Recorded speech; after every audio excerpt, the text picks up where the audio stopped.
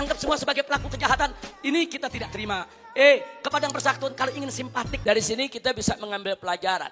Alangkah indahnya kalau kita-kita nih semua dalam arti kata quote and quote ya religi. Tentunya kita berharap memohon kepada Allah Subhanahu wa taala agar Habib Rizik Syihab, dikenal sebagai pendakwa agama Islam yang sering memberikan ceramah dengan gaya berapi-api, kembali menjadi sorotan publik setelah memberikan pernyataan kontroversialnya. Kali ini, Habib Rizik mempertanyakan status Roma Irama sebagai seorang wali atau orang suci. Menurutnya, Roma Irama lebih pantas dianggap sebagai raja dangdut daripada seorang wali karena kontribusi besar yang diberikan dalam dunia musik legendaris.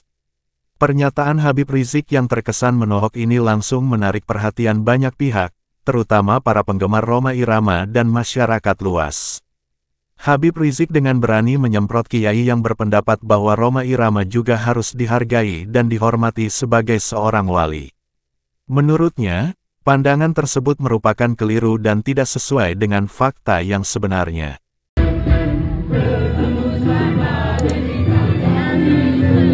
Tapi tangan biasa, normal.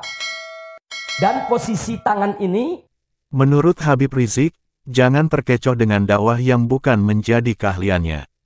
Roma Irama hanya pantas dianggap sebagai raja dangdut yang telah memberikan kontribusi besar dalam dunia musik tanah air.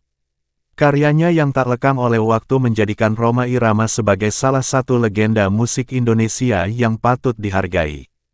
Hal ini diungkapkan Habib Rizik dalam sebuah pengajian di hadapan para jamaahnya.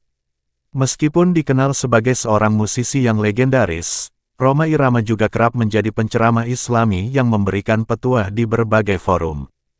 Kepedulian Roma Irama terhadap dakwah agama Islam membuatnya terlibat dalam berbagai kegiatan keagamaan, baik sebagai pemusik maupun sebagai seorang penceramah. Kontribusi Roma Irama di bidang keagamaan juga patut dihargai seperti yang diungkapkan oleh banyak kalangan masyarakat.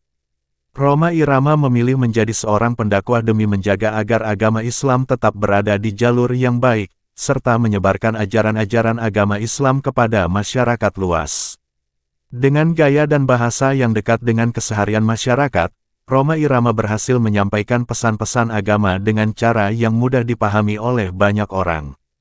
Warisan kebaikan yang ditinggalkan oleh Roma Irama diharapkan dapat terus dikenang dan dihargai oleh generasi selanjutnya. Ungkapan Habib Rizik Syihab ini menjadi magnet bagi netizen, media, dan masyarakat luas. Banyak tanggapan bermunculan terkait pernyataan kontroversial tersebut.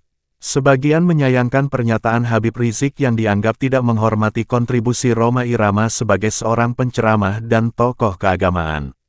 Namun, Tak sedikit pula yang memberikan dukungan terhadap ungkapan Habib Rizik, dan menganggap bahwa pandangan tersebut hanya sebagai pendapat pribadi yang perlu yang dihormati.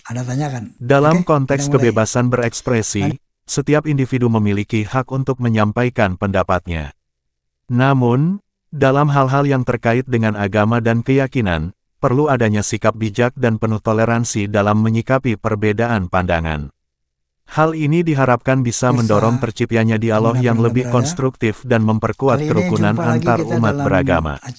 Ungkapan Habib Rizik terkait Roma Irama diharapkan bisa menjadi bahan introspeksi bersama, bahwa setiap individu, terlepas dari profesi atau popularitasnya, memiliki kontribusi yang berharga dalam menjaga agama dan kebaikan bermasyarakat.